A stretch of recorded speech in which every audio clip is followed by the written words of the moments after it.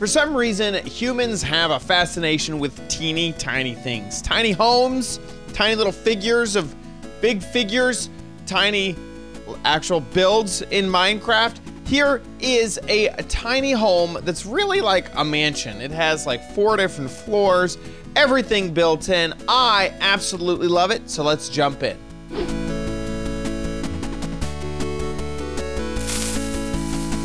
So here we are inside of Minecraft, and first, let me give you a little bit of a tour of this tiny home. First thing is first, and that is in order to get in, you do have to crouch, and then you can fit inside the first level of this house and it only gets smaller from here. So you come on in and this is a nice cozy living room. You got some uh, some light, a light source. You can tell what time of day it is. You can furnish some stuff up, craft a few things, and you even have some storage to leave a little bit of your items behind. You also have a nice painting and I put this Ocean Explorer map on here. You can also fall asleep right here, and you'll be able to uh, wake up and whatnot uh, there as well. Let's go down to the basement first. We do that by standing on this trapdoor, opening it up, and shutting the trapdoor again. And now we are in our crafting space. This is crafting extraordinaire. You can do almost everything. I mean, uh, the only thing you can't really do is brewing in this space. So you got some, a stone cutter. Here, let's talk about specialty blocks. Stone cutter. You got your cartography table, got your loom. You can disenchant right here. You have a nice ender chest, so you have lots of storage inside of the ender chest. You can open up an, an anvil, and then all along the walls, these are all barrels so you have lots and lots of storage when it comes to that. You also have another smelter right there. And if you need a crafting table, there's one still up here in the ceiling, as well as another furnace. So if you need to smelt, you got two options for that. And so you can sort of double furnace, double smelt right there. Down below, you have your enchanting table, and this will enchant all the way up to level 30. So uh, you have all of the levels that you possibly need right down there. And let me think, is there anything, any other special thing?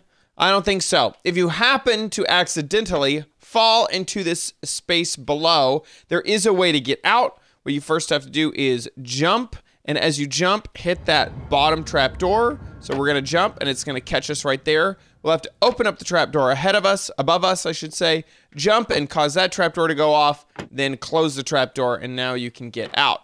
Then to get out of the basement, you gotta have to jump and hit that trap door at the exact same moment. Now let's head to the second floor. Uh, and we do that just by using the ladder, holding down shift, and then we can get off of that area and we can close that again. And not only does this have one, two, and three floors, and it kind of has like a subfloor of the Enchanting Table area, so you could consider it four floors. Uh, it also has multiple rooms in the second floor uh, story. So you start off here in this hallway, you head around, around the corner, and then bam, you got your brewing station, which I absolutely love. So inside of here, you have all of the brewing supplies. You have your brewing stand. All you have to do also to get more uh, water bottles is in the ceiling. There is some water, and you can just kind of suck that up and then place your water bottles back in there. And if you happen to have a bucket and you need an infinite water source, we got you covered there. So we can go over here and suck up this water source right here, put it into your cauldron if you need it, and we have an infinite water source for you at uh, right there. Uh, we also have another crafting table just in case you need it. And like I mentioned, that barrel for storage. And this theme is sort of per per block theme. So that is the entire home. That's my that's my crib. That's the you know the end of the end of the tour. And now you can exit again. Go, let's head around to the back to see what this all looks like. And this is about as this is really all the space that it takes up. How many blocks is this? Nine blocks tall by I believe it's five wide. Uh, it, and this one, this block right here isn't uh, 100% needed. Uh, so you could either do it uh, five, you know, length and width, and then nine tall, or you could add that one extra block right there to get that extra barrel there.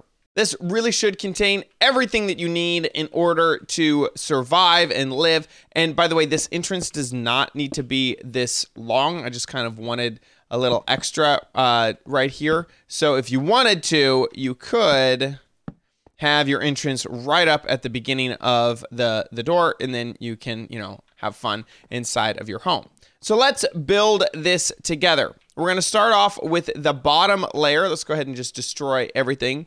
And what you'll need for this are, it's pretty simple, bookshelves and an enchanting table.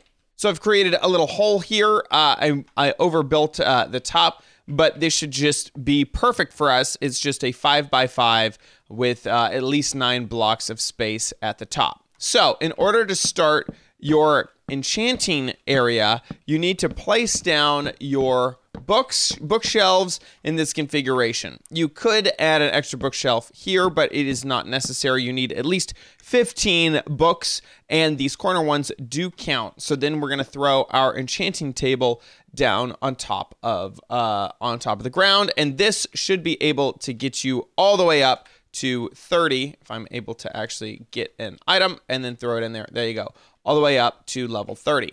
Now we just need to fill in some extra room because if you happen to have any block right here, that will actually lower your uh, your enchanting ability. And so we can't, we have to leave an open space. Otherwise, we'll have really, really low enchant. So we need to make sure that all of those blocks that were just stone are completely empty for us to start.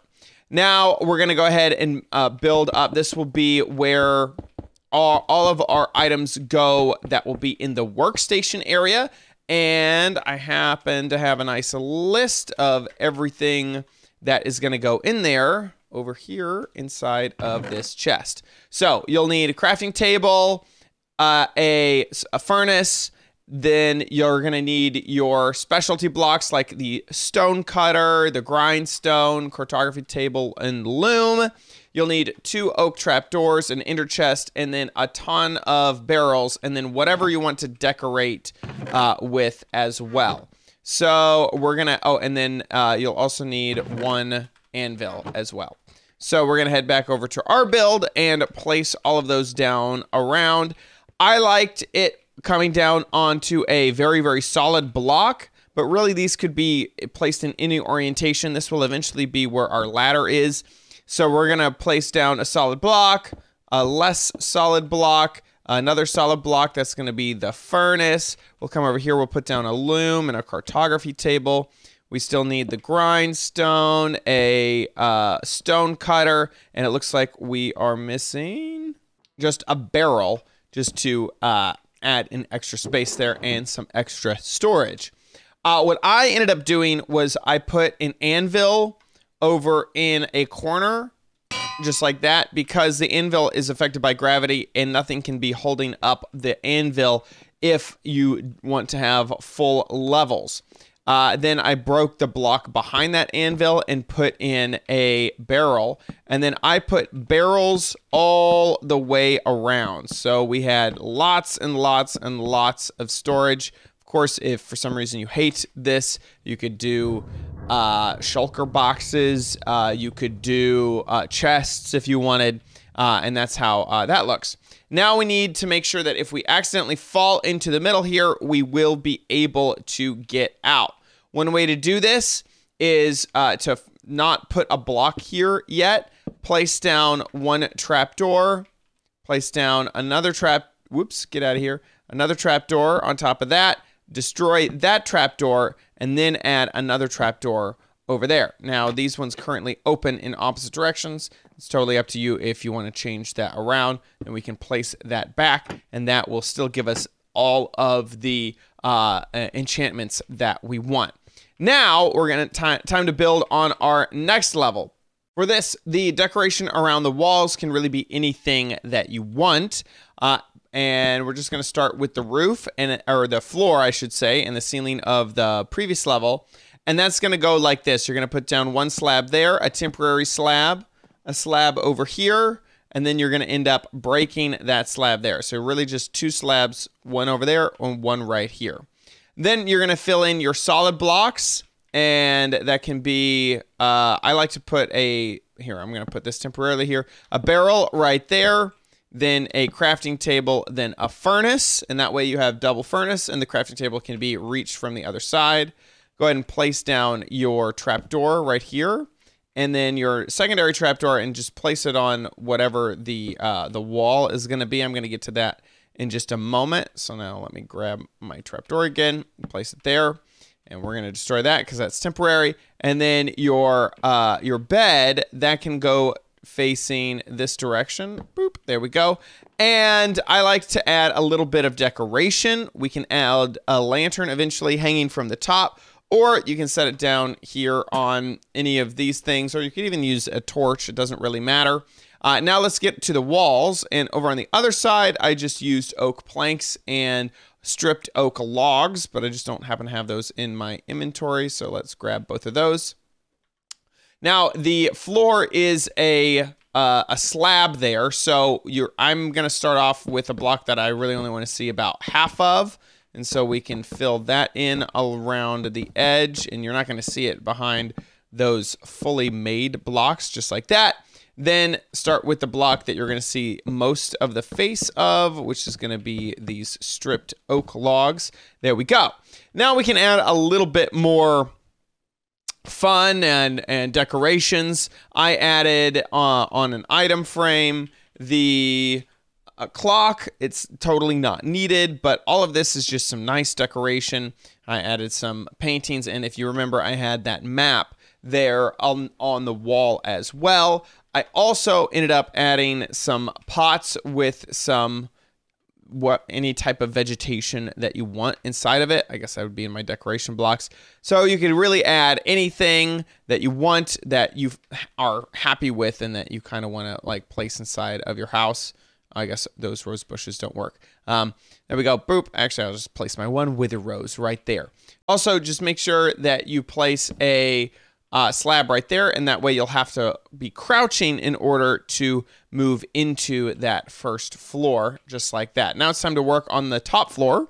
In this floor configuration, we are going to basically build all the way around, and then uh, the top and this I used I went ahead and used purpur blocks uh, for this but you could really use any blocks so here we go here's some purpur uh, you're going to start off with your solid blocks, and these are going to be seen halfway through the floor. And then you go ahead with the blocks that are going to be fully seen on every side because this full block has the entire face uh, facing the character. We can get rid of that one and make sure it all works. Perfect. Uh, now go ahead and add a trapdoor right here. And you're also going to need to add a ladder underneath that trapdoor. And this is the way that you're going to be able to climb up onto this second area. Now we're going to get a few brewing supplies. I always like to have a crafting table just because it's convenient to have one around. We're going to go for a barrel. Then we're going to go for the uh, brewing stand and a cauldron as well. Finally, I really like having that little wall. I feel like it adds just a whole bunch of fun. So we're going to get a trap door as that wall. Go ahead and place your barrel down and then your crafting table. I put my brew stand down on top of the barrel and then the cauldron on top of the crafting table. Then you'll take your spruce trapdoors and slap them onto, whoa, I didn't mean to hold shift. Uh, slap them down onto the edge of the uh, the cauldron and the uh, brewing stand and then open them up. And that way you'll have an extra little room to walk around in. I added some sea lanterns. Sea lanterns are not 100% needed. You could use pumpkins. You could use, I mean, you could also just stick torches onto the wall. So you could really choose anything that you want for your lighting source. This time, let's go ahead and go with glowstone. Also, you're going to need a uh, any type of slab, anything that can be waterlogged, really. Uh, and so we're going to put the glowstone in the corners. And I'm just temporarily adding a whole bunch of extra blocks that we don't actually need. There we go. And then the spruce in the middle. And then for the spruce, you're going to eventually end up waterlogging this one, this one, and this one. So we want to make sure that there's an extra block on those two. That way, uh, it will it, it won't flow outside of those blocks because you need kind of a solid block over there. Then just take your water, fill in one, two, and three, and those, whenever you pull the water out of the middle, the water log will refill that middle one for us. So let's head back inside, and all of this should be done. You have to shift in order to enter, open that up, head to the top, close the door, hold down shift. Everything is working great. This is our brewing stand, and you can see all of the water.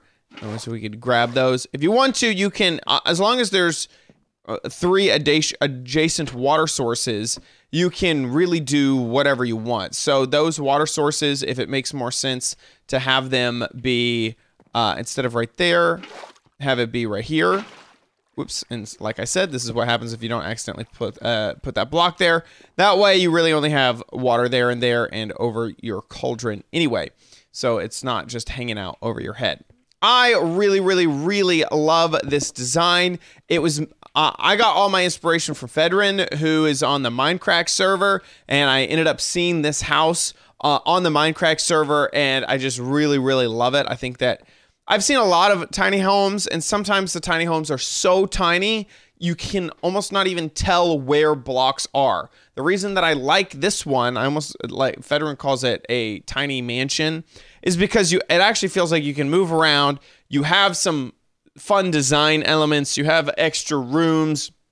You have all the functionality uh, that you need, and it's just adorable. I really, really, really find this entire house super duper adorable. And once again, if you get trapped down here by accident, all you have to do is jump, close that, make sure that's open at the top, jump, open, close, and then you're back into the middle of this section. I did uh, change a few things from Phedran's design, uh, like that little thing. She actually didn't have a uh, an enchanting table with uh, full enchantments uh, down there, so I did change this around just a little bit, but most of this is from Phedran's design. So there you go. Hope you enjoy it. I hope you enjoyed the build. Once again, big thanks to Phedran for the inspiration for this build. I hope that you enjoyed it and that somewhere in your world you'll find a tiny spot for this tiny home. If you enjoyed this video, make sure that you give it a big ol' thumbs up. Also, make sure you subscribe for future videos, tips, tricks, tutorials, and spotlights here on OMG Craft. See you next time on OMG Craft. Bye.